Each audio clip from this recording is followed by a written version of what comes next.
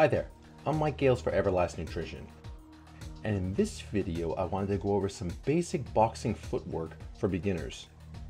Now you probably already know the footwork for the jab, but we're going to do a quick little recap nonetheless. And I will leave links in the description below on how to throw all the basic punches in detail. So let's take a look at that footwork for the jab. Well, if you're not moving anywhere, then the basic footwork to throw a jab is going to be the rotation of your lead hip, like so.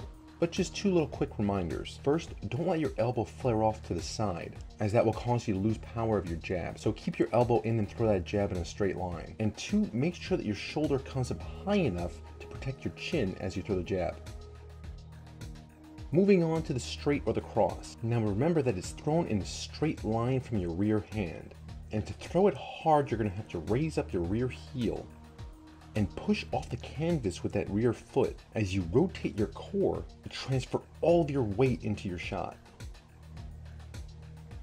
Okay, so let's move on to a quick recap on how to throw the hooks. Remember that throwing powerful hooks is all about the rotation of your body. There's actually little movement from your elbow or your shoulder once your arm is placed in the proper punching position. For the lead foot, I always like to imagine myself squashing out a cigarette butt on the ground as I internally rotate my leg to deliver the shot. The more powerful you can use your legs to rotate your core, then the more powerful your punch is going to be.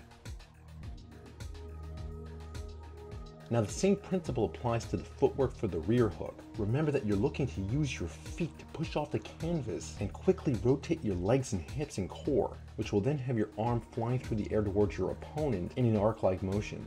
And again, you're going to want to use your footwork to cause a powerful rotation of your core, which is going to equate into a much more powerful punch. Perfect. So you have your basic punches down, and if you're hitting the heavy bag or you have someone standing right in front of you, then you feel like a destroyer of worlds. But in real life, there's a little problem. Pretty much no one is going to stand right in front of you and let you hit them. So my friend, you're probably going to need to get yourself from point A to point B. Now I know that sounds easy, you think you could just walk over, but it's not as easy as it sounds, because you need to be able to get there without getting hit, and you need to be ready to deliver your own shots the instant that you get there. And so the best way to do that is to get yourself from point A to point B while remaining in your proper boxing stance so that you can be both offensively and defensively effective. So from your boxing stance, you're going to lift your lead leg and propel yourself forward by pushing off of the canvas using your rear foot. Once that lead foot is firmly in place, you're going to bring in your rear leg to return yourself to your normal boxing stance. By moving forward using this method, you're ensuring that your feet are never going to cross and that you remain on balance, ready to attack or defend. Now, if you're moving backwards, then you're going to want to reverse this process and move the rear foot first. So raise the rear foot up and use your lead foot to push off the canvas and propel yourself backward.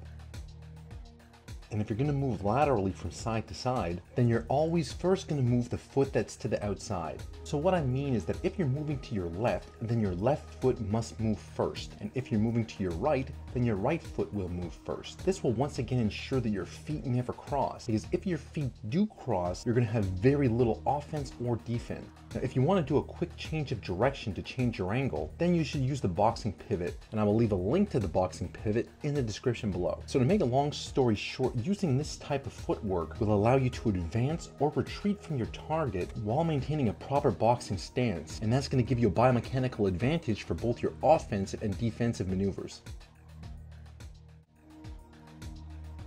Okay, so now you can punch and you can move, but can you punch and move at the same time? Hmm, let's take a look at throwing a jab as you move being able to punch as you move is drastically going to increase the range of your punches. For example, just throwing the jab without movement will give you a range of B, but by using proper footwork, you could extend your range all the way to point A. As you lift your lead foot, continue to use that rear foot to push off the canvas and propel yourself forward. The only difference this time is that you will synchronize your jab to be thrown in tandem with your lead foot. So notice here that both my jab and my lead leg extend out together. You can double up your jab to increase your range even further, but just keep in mind that you also need to double up your steps to match your jabs as well. So notice here that I take a step for each and every jab that I throw. And now the main thing that I want you to notice is how much ground I can cover by simply doubling up my jab. I can pretty much get halfway across the ring. Now let's take a look at the footwork for the cross.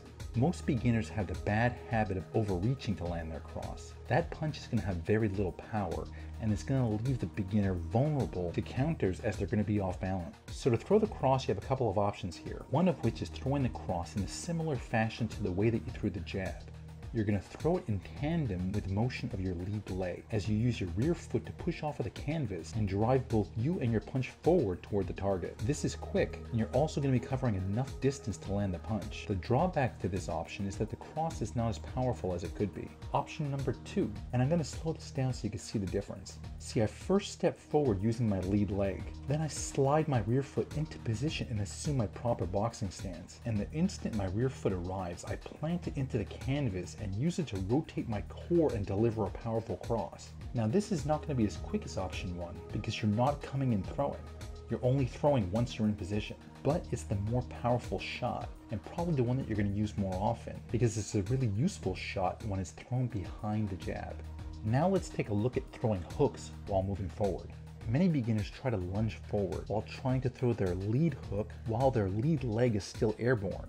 Now, even if they land this shot, it's not going to be all that hard of a punch. More beginners tend to reach forward as they throw their rear hook and they lift their rear foot up off of the canvas, and that's the same effect. It's not going to be a very hard punch. So instead, what a beginner should do is use some basic footwork to get in proper position first and then throw the lead hook.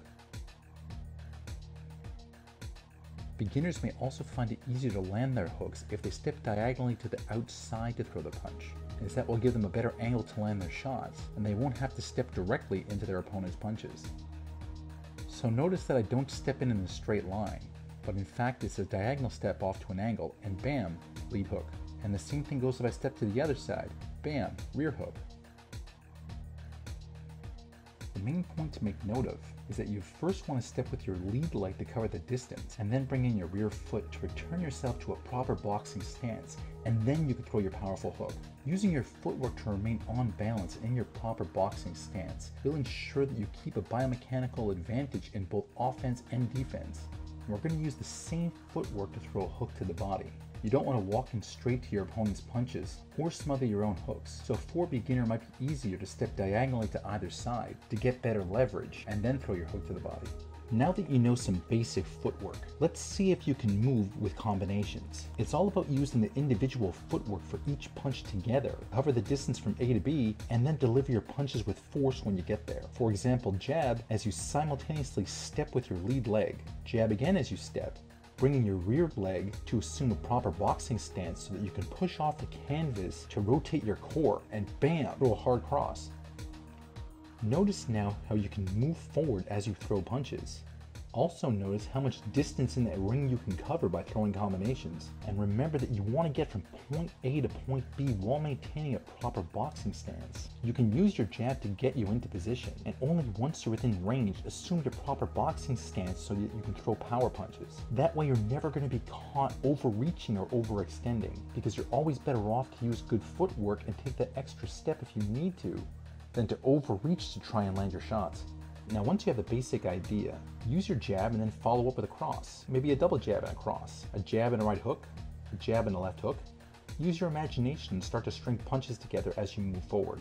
As long as you remember to use proper footwork, get you from point A to point B while maintaining a proper boxing stance, you're going to be doing just fine. Finally, you're going to find tons of footwork drills but the simplest and most effective for a beginner will be a simple box drill. A box drill will see you step forward, step laterally, step backwards, and then step laterally once more. Basically picture that there's a box on the floor and that you're using your footwork to step on all four corners of that box. That will have you moving in all four directions, front and back, and from side to side. And before you know it, all this footwork will become second nature to you. This has been Mike Gales for Everlast Nutrition, and if you like these videos, then please click below to like or subscribe, as we're constantly posting great tips and new ideas to get you into the absolute greatest shape possible.